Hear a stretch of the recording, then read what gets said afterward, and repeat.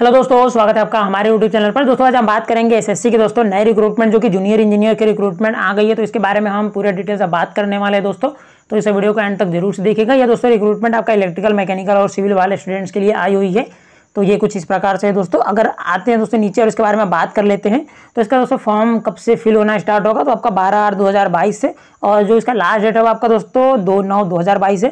तो इससे पहले तक आप अपना फॉर्म फिल कर दीजिएगा दोस्तों। अगर इसके एप्लीकेशन फ़ी के बारे में बात कर ली जाए तो आपका जनरल ओबीसी ईडब्ल्यूएस कैंडिडेट्स के लिए सौ रुपये फ़ीस है, और जबकि आपका यहाँ पर एस सी और फ़िज़िकल हैंडीकैप के लिए कोई फ़ीस नहीं है, और यहाँ पर नीचे दिया गया है कि आल कैटेगरी फीमेल के लिए भी कोई यहाँ पर फ़ीस नहीं रखी गई है।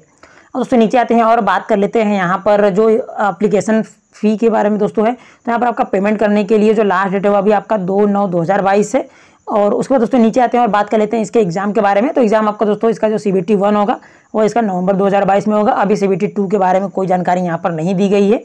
और नीचे दोस्तों, अब बात कर लेते हैं कुछ उसके एज वगैरह के बारे में। तो आपका मिनिमम एज यहाँ पर नॉट अप्लीकेबल है, बताया नहीं है, लेकिन जो मैक्सिमम एज है वो आपका बत्तीस वर्ष होना चाहिए।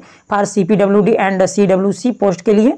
और आपका जो मैक्सिमम एज है दोस्तों, तीस साल आपका होना चाहिए आल अदर पोस्ट यानी किसी भी पोस्ट के लिए आपका मैक्सिमम तीस साल होना चाहिए। मिनिमम दोस्तों, आपका यहाँ पर अट्ठारह वर्ष तो होना ही चाहिए।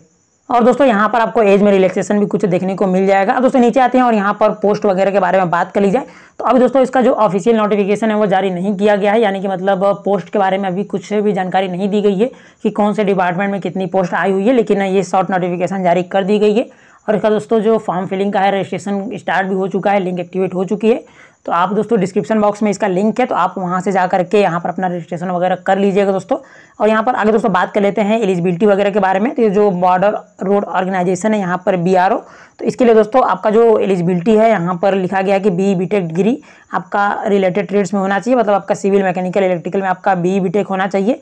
साथ ही आपका डिप्लोमा भी होना चाहिए इन्हीं ब्रांचेज में विथ टू ईयर एक्सपीरियंस और नीचे दोस्तों बात कर ली जाए central public works department CPWD तो यहाँ पर भी इलेक्ट्रिकल मैकेनिकल सिविल है।